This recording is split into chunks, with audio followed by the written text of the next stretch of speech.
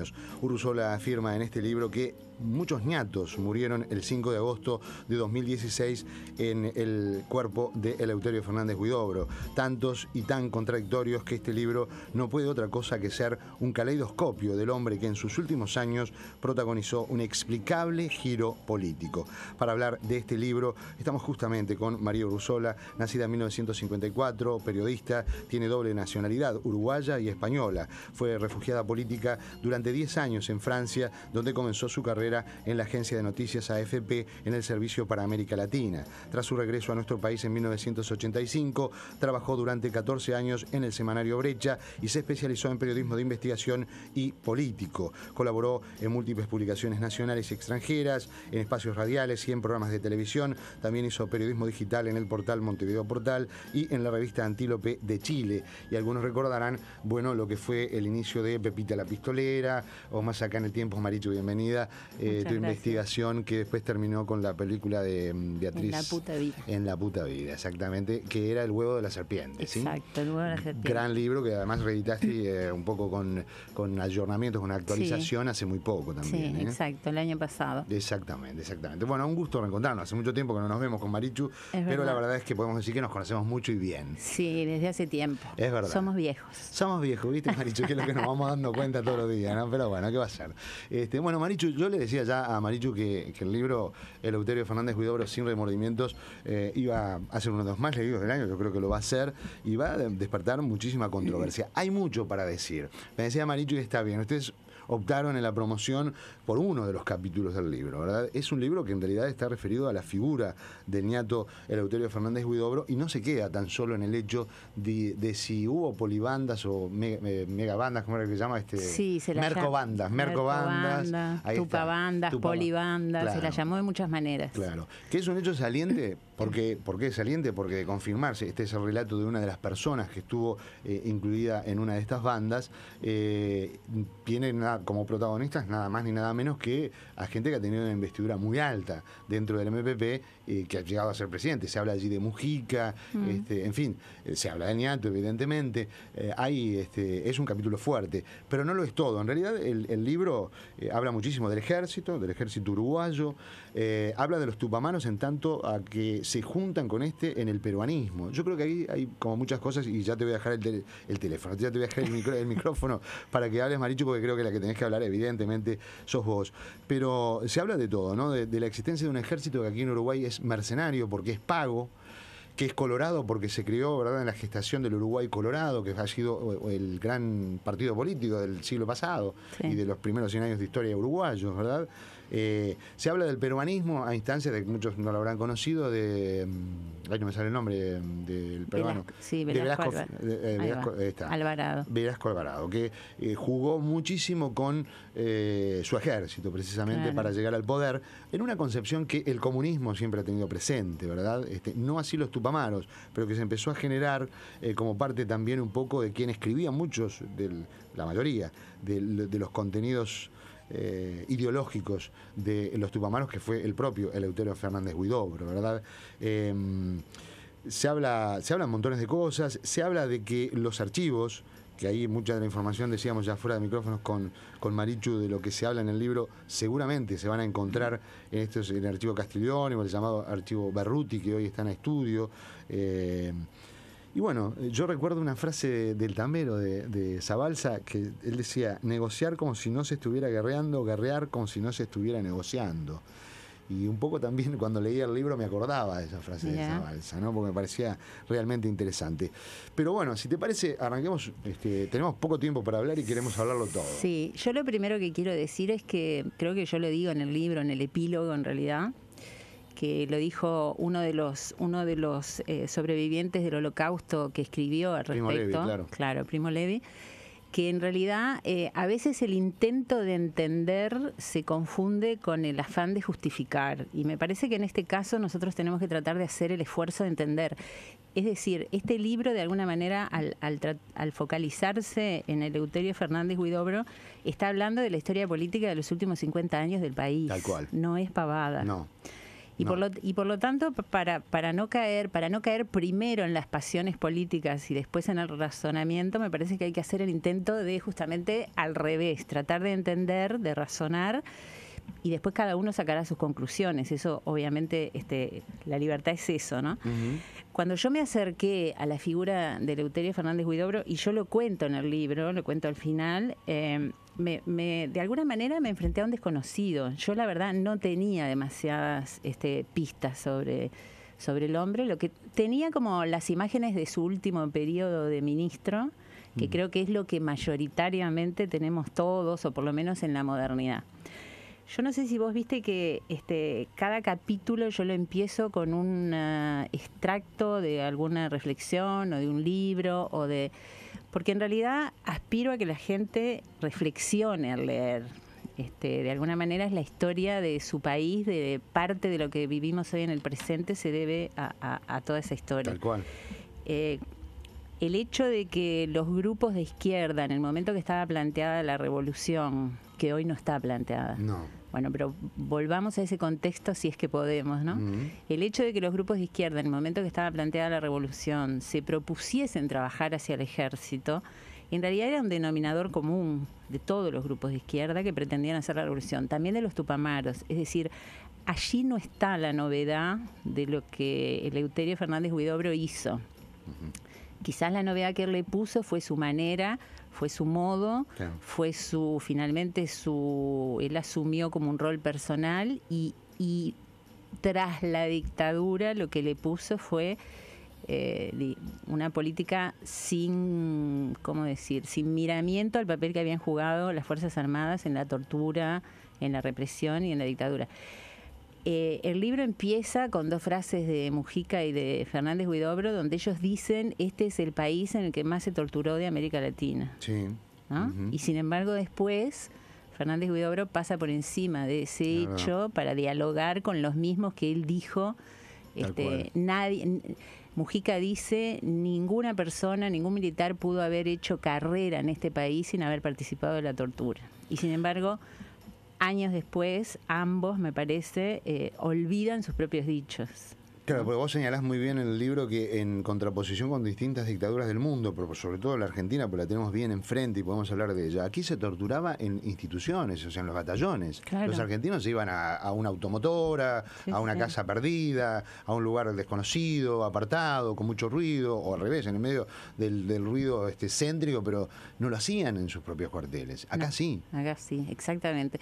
Entonces, ese es todo un capítulo, la relación de los grupos de izquierda, incluido, bueno, por supuesto, el Partido Comunista, todos, el PP, es decir, la postura que los grupos de izquierda tenían con respecto al, tema militar.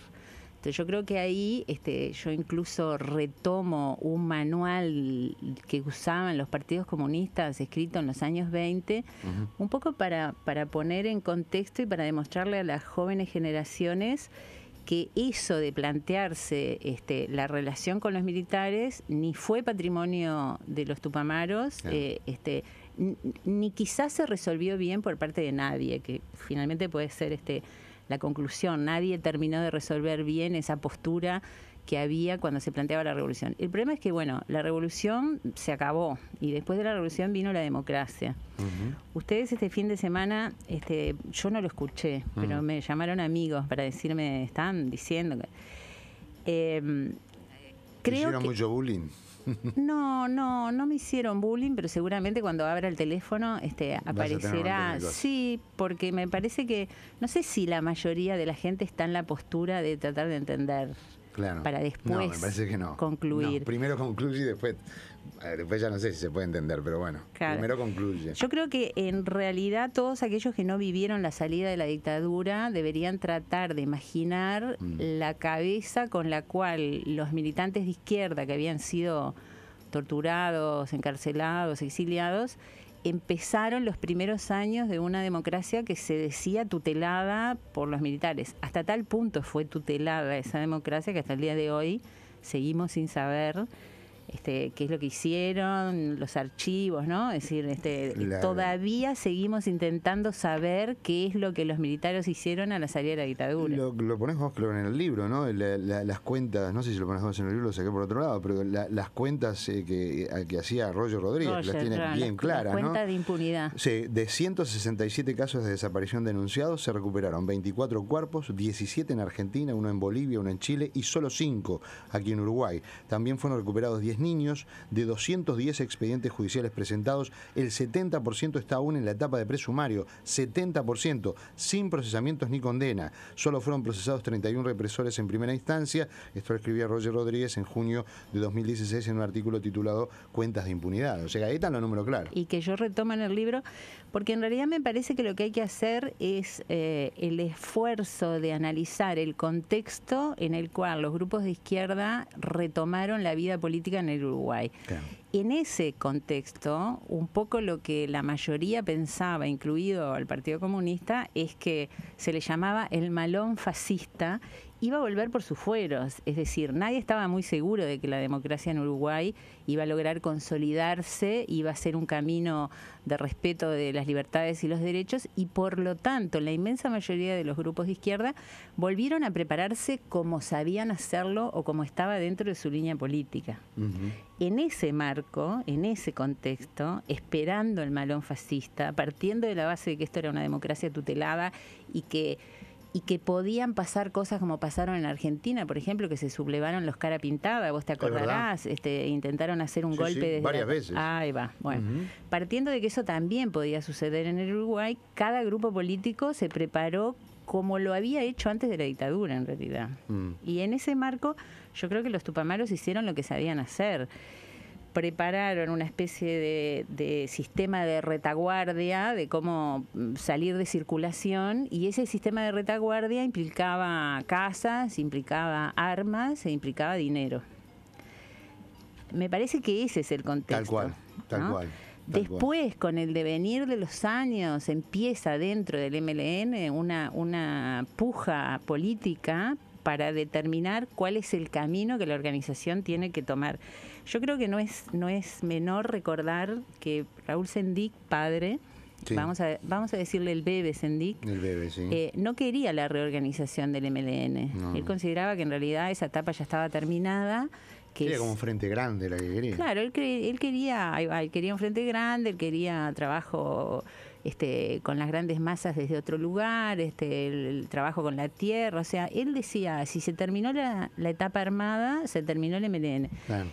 Perdió esa puja política, este, ganó, digamos, la postura de recrear el MLN y entonces, evidentemente, el MLN recreó todas esas formas de trabajo. Y después murió el bebé. En dos años. Por eso digo. Eh, no, un poco más. En un poco más, en 89. En 89. Pero de todas maneras, quiero decir, en la historia, ¿no? Digo, rápidamente murió. Hay muchos hay muchos tupamaros que dicen, eh, otro hubiese sido la historia si el bebé hubiese seguido viviendo, porque en realidad, el M ¿qué es el MLN? Esa es una pregunta, mm. este, esa, es una pregunta central eh, en hoy, porque lo que yo me encontré es muchísima gente que fue del MLN y que se sigue sintiendo parte de ese MLN del que fue, que con el paso de los años se fue desgranando como una especie de choclo, fue perdiendo generaciones de integrantes del MLN, cada una se fue yendo por diferentes motivos, todos motivos políticos, Este, diferentes posturas, y en realidad terminó, yo creo que terminó siendo no sé qué, un sello quizás, no tengo idea. Un sello y un juntavotos, está dicho por allí por algunos protagonistas. eso, lo dice Marenales, que trata al MPP de, de, bobo juntavotos. Y bueno, la verdad es que la realidad está allí para que uno analice las palabras. Entonces, en ese marco, este, en ese marco es que se da ese tema de las operaciones de, financieras, de las operaciones de financiamiento de la actividad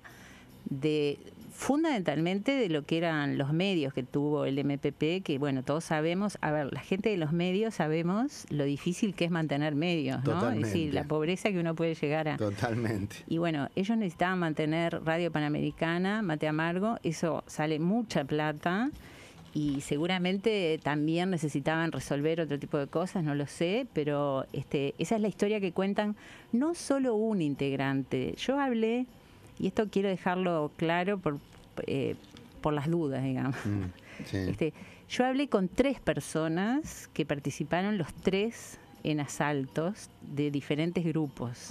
Estamos hablando de las polibandas que existieron en los años 90, que eh, dieron una serie de golpes que, bueno, si uno se pone a sacar cuentas, pueden andar en los 20, 25 millones de dólares, como se dice en ciertas partes. Yo no tengo ni idea si mm. esa es la cifra. Mm. Algunos dicen esa mm. cifra, otros dicen que es una exageración. En realidad yo no estoy capacitada para hacer el cálculo.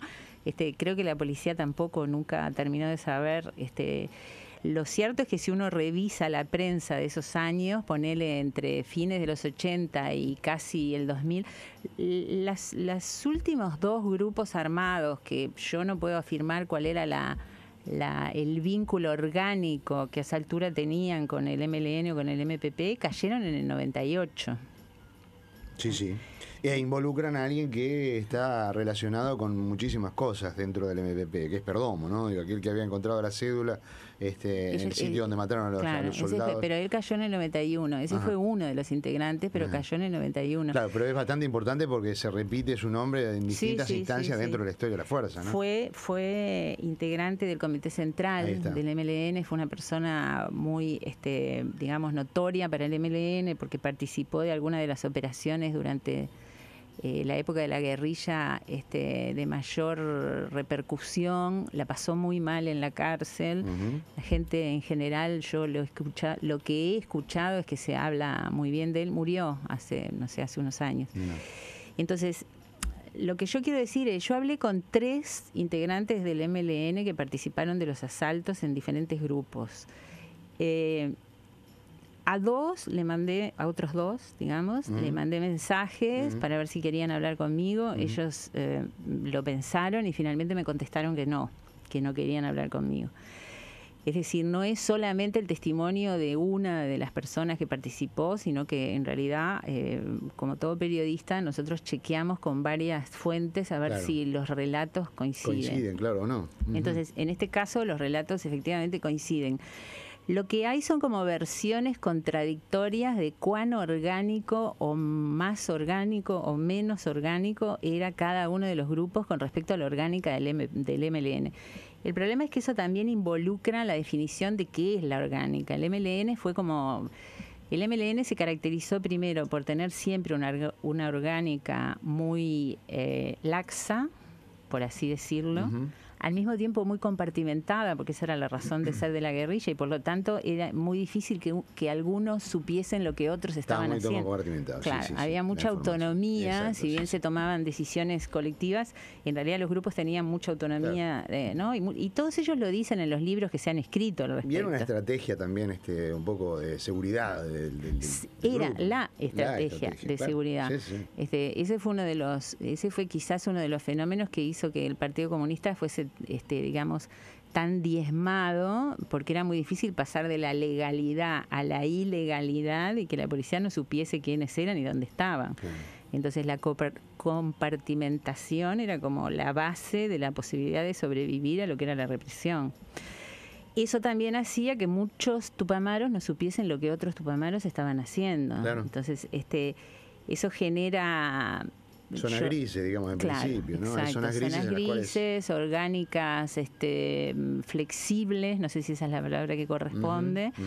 Genera una cosa que en algún momento hay politólogos que han dicho que esa es una de las claves de su éxito. Por ejemplo, el Fito Garcés, que hizo su tesis de doctorado sobre la diferencia entre el Partido Comunista y el MLN, entonces dice que esa especie de flexibilidad eh, no solo orgánica, sino ideológica del MLN, que tenía como diferentes vertientes que lo componían, es decir, allí convivían desde anarcos, eh, ¿no? Este, en fin, todo lo que fue, claro, mm. todas las todas las vertientes originales de la izquierda, este, nacionalistas, eh, mm. eso este, le, le, daba una flexibilidad ideológica que sumada a la flexibilidad orgánica, por así decirlo, te da un panorama en el que en realidad nunca terminás de saber cuál es la orgánica, efectivamente, mm. quién responde a, qué orgánica, en qué momento. Digo, ellos mismos, yo, eh, yo creo que hice una especie de trabajo de filigrana en algunas cosas, y si vos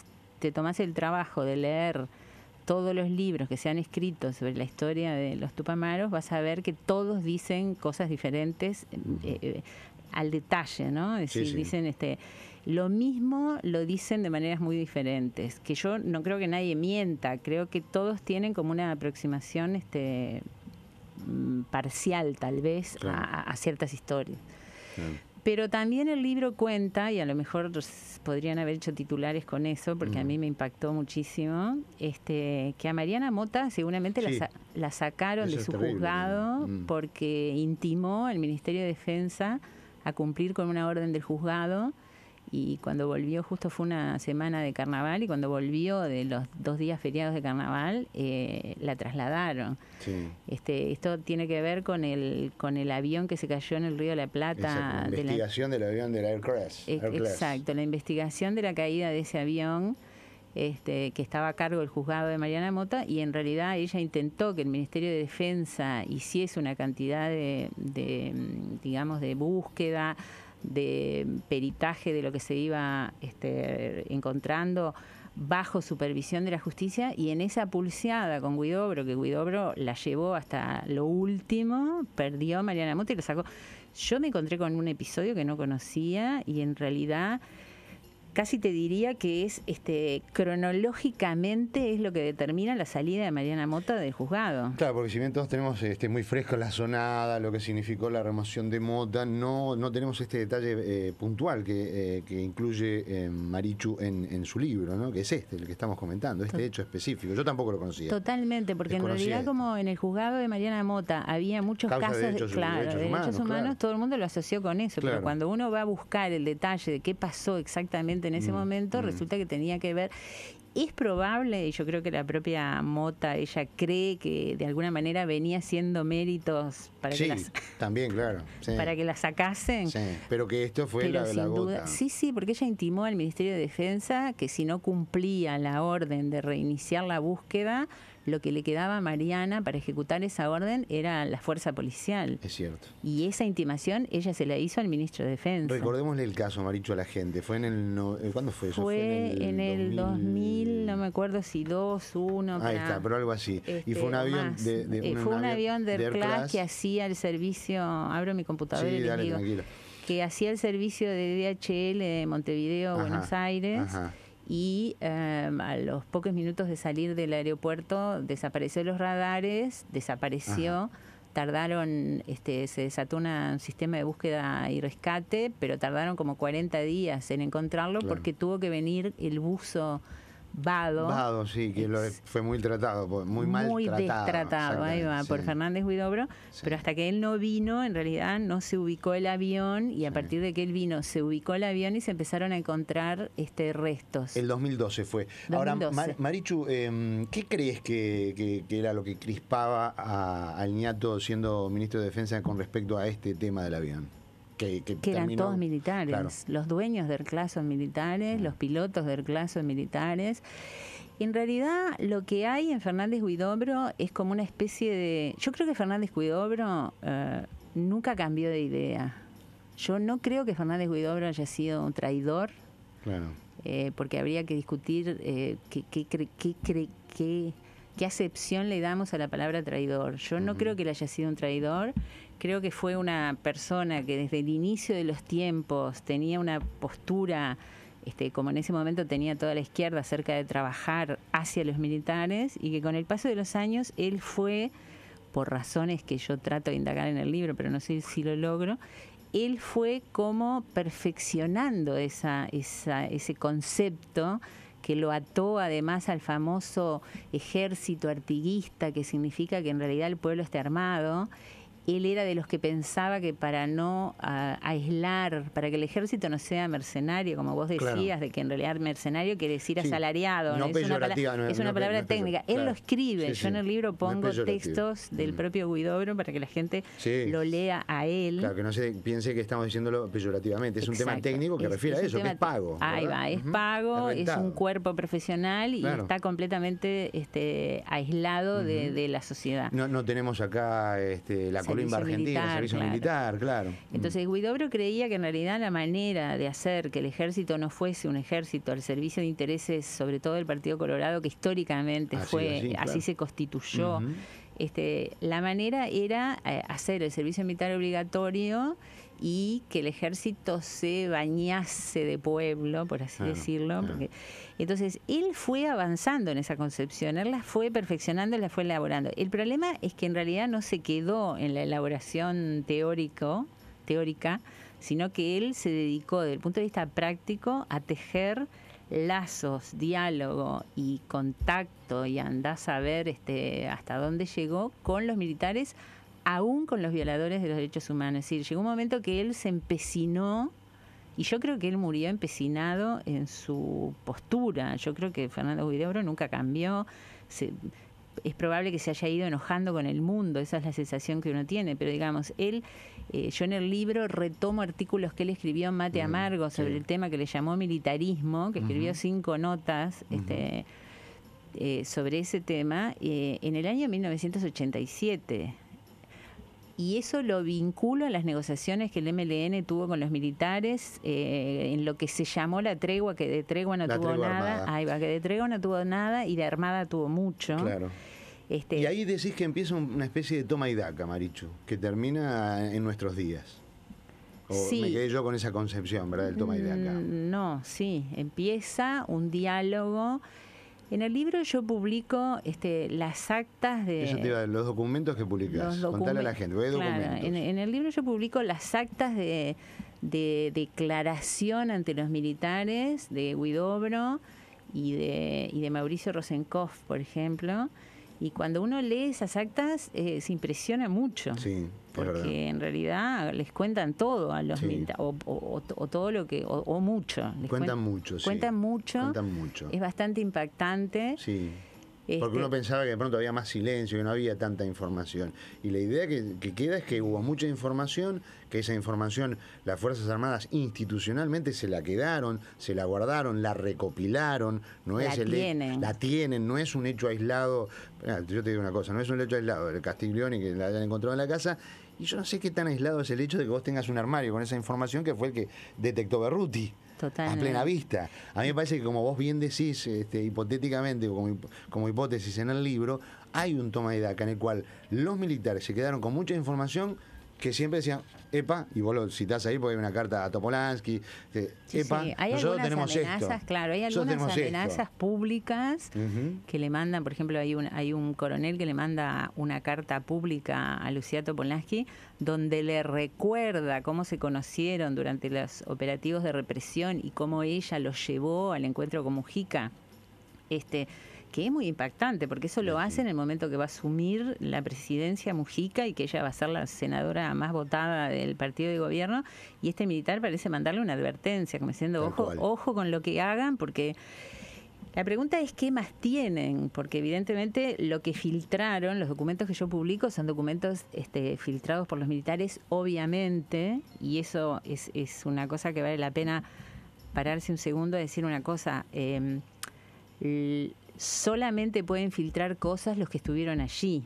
¿No? Digo, porque eso tú sabes que en el medio periodístico es todo un debate Sí, sí. sobre el tema de la legitimidad de las fuentes. En términos generales, las fuentes en general nunca buscan el amor a la patria. No. El 99,99 lo que hacen es una venganza, una amenaza. Una... Eso no pone en cuestión la autenticidad de los documentos. Es decir, solamente pueden filtrar documentos militares los militares. No, yo no estaba allí, ni vos tampoco, No, y no somos claro, nosotros. claro. Pero entonces la filtración de esos documentos que por es tomada por muchos tupamaros como una advertencia, como una amenaza, como una señal de alarma, la pregunta es ¿qué, qué más tienen que pueden amenazar, por ejemplo, a la pareja presidencial? Claro, ¿no? claro. Este, ¿Qué otras cosas? Entonces, bueno, esta es como la gran interrogante que sigue planteada sobre qué hay en esos archivos que no logramos saber. Sí, y, que no logramos saber, entre otras cosas, por los propios ministros de defensa de las fuerzas de izquierda, ¿verdad? Que le han puesto desde Berruti para acá, exceptúa Berruti, Exceptuando a Berruti. para adelante, no hay ninguno que haya fallado a mantener esos archivos en la nebulosa.